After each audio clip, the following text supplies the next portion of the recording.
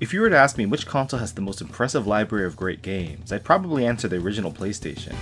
It's just so full of classics that not only made Sony's first foray into gaming an unprecedented and mostly unexpected success, but also raised the profile of the industry as a whole and changed the way the general public would perceive the hobby forever.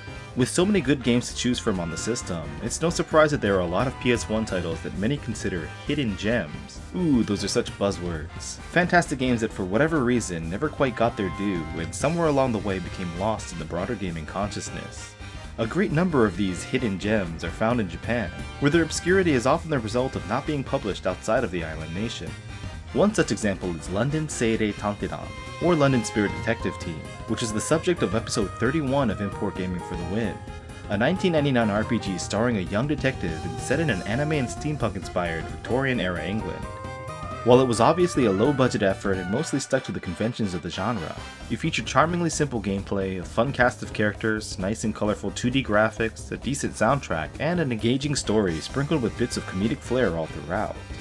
The game's short length left me wanting to spend way more time solving mysteries in 19th century London, but that desire would go unfulfilled since there was never a sequel or spin off. There is somewhat of a small consolation to that, however, as a game with some notably similar themes and settings made its way to the PlayStation the following year, brought to us by the makers of the fabled Atelier role-playing series. Hey, move over little Ralph, and make way for the adventures of Robin Lloyd.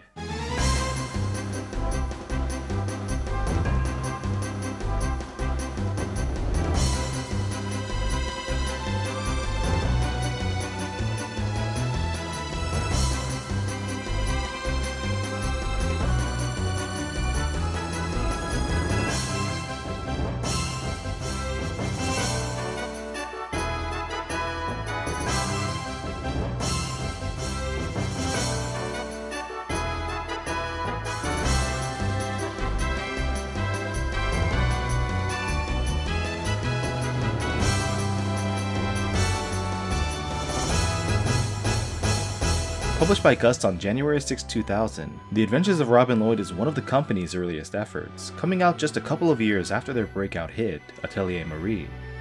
As mentioned earlier, it has quite a few things in common with London Spirit Detective Team. The star of the game is a young detective, the setting is a historical period in England, the roaring 20s in this case, and the overall look and feel of the game is very much anime influenced, with advanced technology, the supernatural, and comedic elements thrown into the mix but the similarities between the two end here for the most part. While Gust is known primarily for its extensive catalog of role-playing games, they went in a different direction for The Adventures of Robin Lloyd, which is a highly stylized, fully 3D action-adventure game with emphasis on the adventure part. The protagonist of the game is the titular Robin Lloyd, a capable and spirited 18-year-old man whose genius has given him the reputation of being the number one private eye in London, despite his youth.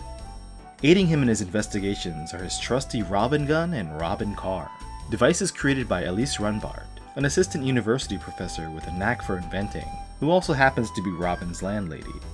Our hero's support doesn't just come in the form of gadgets, however, as he's joined by his loyal partner, Butler. Butler the dog. Despite his underwhelming appearance, he is a valuable team member who has Robin's back when the chips are down. The adventure starts off at Robin's home, when his afternoon nap is abruptly cut short by Elise Butler, informing him that an affluent female client has come seeking his services. This woman turns out to be the young and beautiful Alicia Garfield, heiress to the well-known and influential Garfield Foundation. She tells Robin of her desire to find a missing person, the archaeologist Ryle Rockwood, someone who Robin and Elise are closely associated with. They're surprised to hear of his disappearance, but perhaps more surprised to learn that Miss Garfield is his fiancée. He was last seen a week ago heading towards a museum in search of a jewel called the Rose of Awakening, a one-of-a-kind ruby from Egypt that adorns the crown of the queen of a distant kingdom.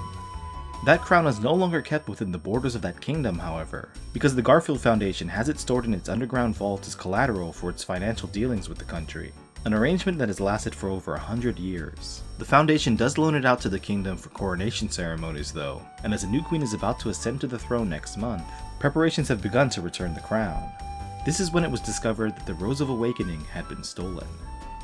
The patriarch of the Garfield family promised to give his blessing to his daughter's marriage if Ryle could bring back the gem safe and sound, which prompted his hasty departure.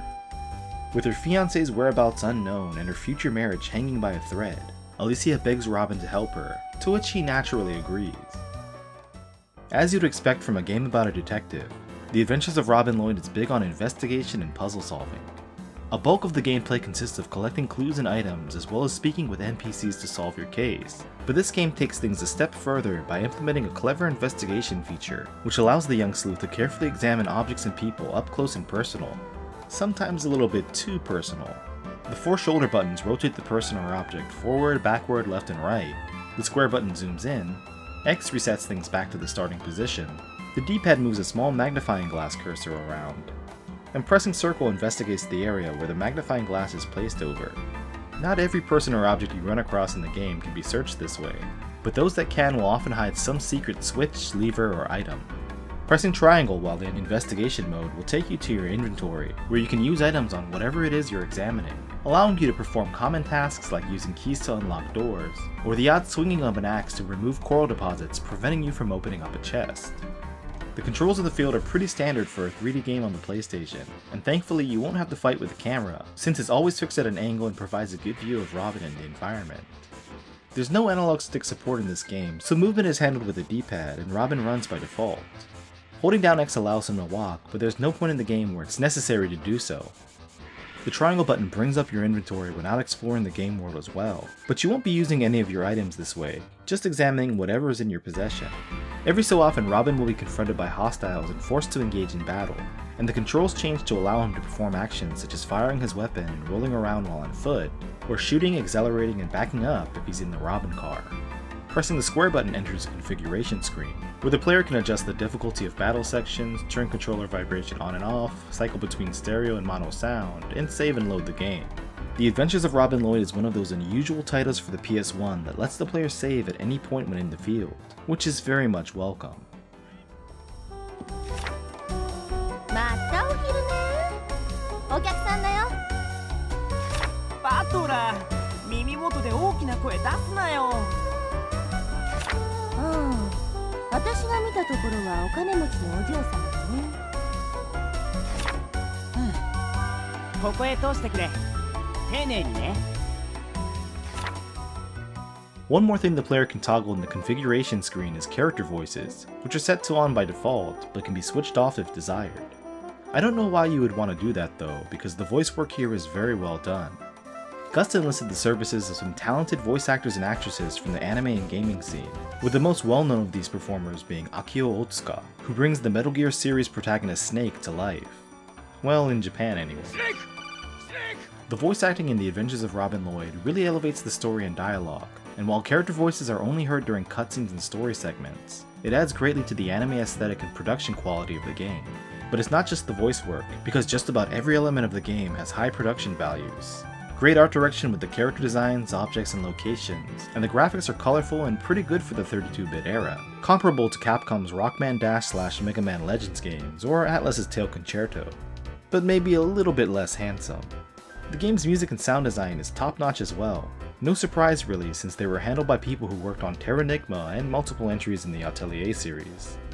Character designs were done by a man named Yu Kaneshige, whose only other video game credits are comprised of seemingly minor roles working on art and graphics in a handful of RPGs. It's a shame because his work in The Adventures of Robin Lloyd really shines, and he created a really interesting and likable cast of heroes and villains with this project. I would have loved to have seen what else his imagination could have come up with beyond Robin and Company. The first chapter of the game, or first case if you will, is called Breath from the Ancient Times, and picks up right where Robin and Alicia's consultation ended. Robin and Butler arrive at the museum, and the investigation begins immediately. There are so many exhibitions and decorations to examine, ranging from paintings, statues, and even dinosaur bones. There are also quite a few visitors and employees in the museum that need to be questioned and searched, making this first case seem like a daunting task initially, but soon you'll find some notes left by Ryle to help point you in the right direction. Tracing the missing archaeologist's footsteps eventually uncovers some of the museum's darkest secrets. All of the art and artifacts on display are actually fakes produced in a workshop on the premises, and the director of the museum runs a black market auction where he sells the originals. It also seems the director is the one responsible for stealing the Rose of Awakening. Upon discovering this, Robin waits until nightfall to infiltrate the auction house and confront the director about Ryle and the stone. He makes it to the auction, but before he has a chance to interrogate the director, a giant drill suddenly smashes through a wall and a sinister looking man enters the scene. The nefarious Colonel Doyle, who's crossed paths with Robin on many occasions in the past, and never on friendly terms. He too is in pursuit of the jewel, but for his own selfish gains, and after a short search of the area, his men find not one, but three gems, all fakes. During this altercation, Robin stays out of sight to eavesdrop, and learns that the real gem is hidden somewhere below the museum, so he rushes off to find a way underground before Doyle and his men can claim the Rose of Awakening. To get to the lower levels, Robin must acquire a stone cross that serves as a key to the secret entryway. This cross is hidden in a compartment behind one of the museum's paintings, but can be retrieved only after solving one of the game's otter puzzles that has more than one solution. The secret compartment is opened by a loud, prolonged sound, and to produce such a noise, you can either smash a gong and amplify the sound waves with a tuning fork,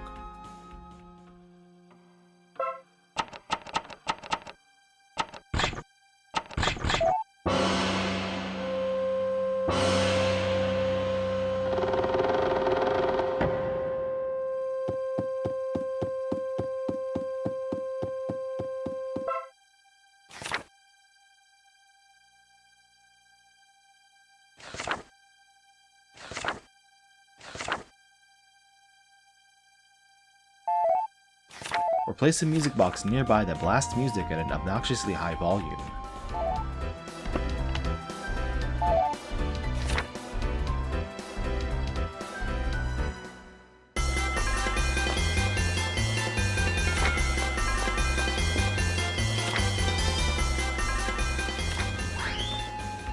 As soon as you enter the murky underbelly of the museum, you'll encounter the first action scenario of the game, where Robin must survive the attacks of no less than 18 alligators blocking his path.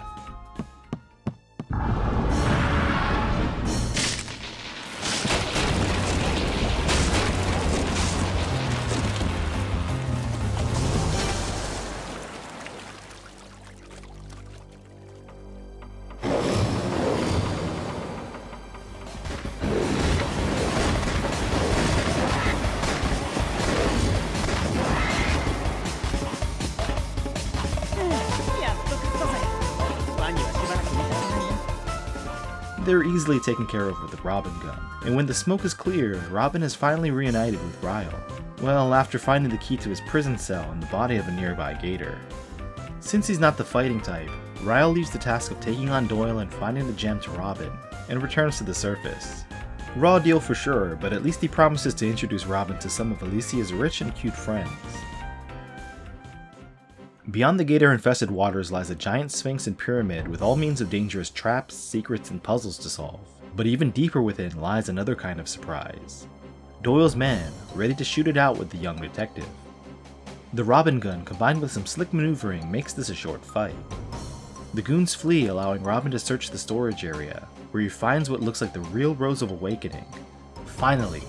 But it's not case closed just yet, because Doyle is parked right outside in a massive tank, ready to pry the jewel from Robin's hands. It looks like our hero's efforts may have all been in vain. However, it's times like these when having a partner is most beneficial, even if he happens to be a dog. Butler comes to the rescue, rolling in with the Robin car to even the odds. Before the battle commences, you have the option of two different perspectives for the camera to fit your playstyle better. Doyle's tank is pretty slow and he's not exactly a top marksman, but halfway through the battle, his tank will transform into a faster, deadlier form, and the real challenge begins. Don't worry if he gets the better of you though, because if you lose all your health, you're allowed to retry without having to reset or reload, same as other fights in the game. Once Robin emerges the victor in vehicular combat, Doyle exits in shame in his damaged tank, vowing revenge like a Saturday morning cartoon villain, because of course he does, and Robin and Ryle regroup in order to get more information from the museum director about what has transpired up until now. Back at the house, Robin tells Elise about the previous day's events. It's a long story, but it turns out that the jewel that the Garfield Foundation had been holding on to all this time was also a fake, and the real stone appears to have been stolen about 120 years ago, before it ever made its way to England.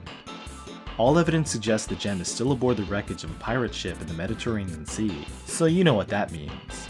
Time for the next chapter, to the Blue Valley. Robin, Ryle, and Alicia pinpoint the probable location of the ship, and without a minute to spare, they head out to try and discover it before Doyle. Sailing on Alicia's personal boat, the three of them indeed discover the ghost ship. Robin and Ryle split up to search it while Alicia waits aboard her vessel. From here on out, you'll explore larger, spookier grounds in the museum, and run into the spirits of the ship's former crew and passengers, even helping some of them find peace along the way. And of course, even more challenging and complex puzzles await the genius detective than the previous case. So up until now, you might be thinking The Adventures of Robin Lloyd sounds like a pretty cool game with well thought out and implemented gameplay mechanics, a fun story and cast of characters, great production values, and all the makings of what you'd call a hidden gem on the PlayStation. So why isn't it more talked about or held in higher esteem?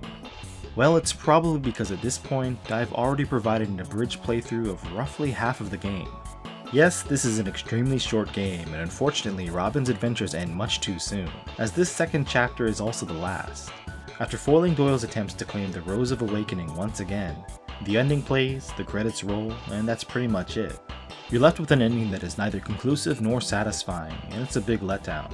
But it is what it is, and I won't spoil the details of the second part of the game for those who want to play it after watching this video. Beating the game does unlock an Omake mode that allows you to listen to all of the game's excellent music tracks, but that in no way makes up for its pitiful length. My first attempt at the Adventures of Robin Lloyd took me a little over 3 hours to finish, which makes it great for speedruns I guess, but the cliffhanger ending left me wanting so much more. At the very least, two or three more cases would have made the game feel like a complete experience. Anyone who purchased this when it was a new release for the MSRP of 5,800 yen, or about 60 US dollars, must have been extremely disappointed. But these days, used copies are so cheap they're practically given away. And while they may be brief, Robin's exploits are more than worth the low cost of admission. This game has such personality and polish that if it was even just twice as long, I'm sure it would be one of those PS1 titles everyone talks about today. Gust did give it a decent advertising push, and I own a few of the collectibles and materials associated with it. Here's the package sent out to retailers that includes 4 promotional posters and 20 custom Robin Lloyd bags stuffed with pamphlets. Pre-order bonuses came in the form of a mini drama CD and a sticker sheet. And a fan book was published that includes a guide, some great artwork and concept sketches, as well as a short story that takes place before the game's events. There's also a CD soundtrack, which is very hard to find, but hey, at least Amazon Japan sells the MP3s. With those prices though, I'll keep looking for the CD.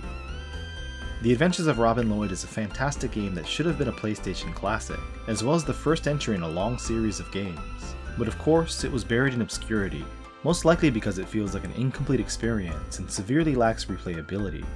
Much like London Spirit Detective Team, this game's conclusion sets things up perfectly for a sequel, one that never came around. But the future isn't completely bleak for London's greatest detective not named Sherlock Holmes, as he was included in a DLC pack for Atelier Lydie & Suelle in March of 2019.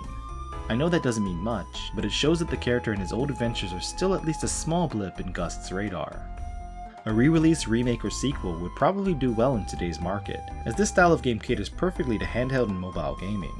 Just a thought, but maybe The Adventures of Robin Lloyd was a bit too ahead of its time, because I have a feeling it would have been a real hit on the DS. Well, whatever the case, I hope it's not case closed on Robin and Friends, and I highly recommend looking into this PS1 title for your Japanese game collection. You'll need a decent handle on the Japanese language to get the maximum amount of enjoyment from the adventures of Robin Lloyd, but you can still have fun with it regardless.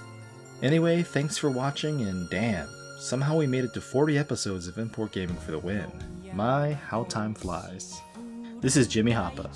Take care.